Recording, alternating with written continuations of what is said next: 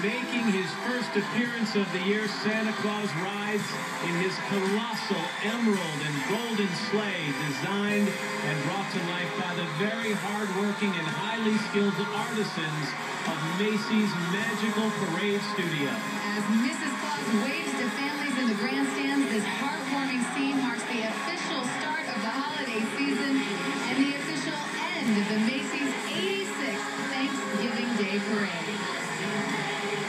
Thank you.